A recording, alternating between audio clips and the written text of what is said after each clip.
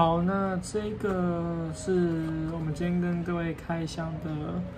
呃 envelope，就信封套装组这样子。然后它的原价是在九百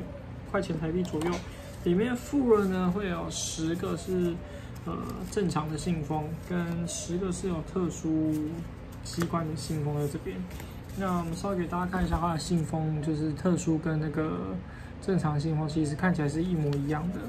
那这个这一杠是主要是让这个信封可以好塞进去啊，就是卡住，它不是机关，它就只是一个卡榫的这个状态。所以收到之后，它的呃教学呢会是有一五十分钟左右，但是它五十分钟其实它这是呃用就是它不算是演吧，就算是口语化的跟大家讲一下它的这个信封要怎么用。那一拿到其实就知道，呃，你要去怎么使用，就看你要怎么搭配你的流程。主要是附了各十张，呃，不同那个各十张就是这两种不同的那个信封这样子。那以九百块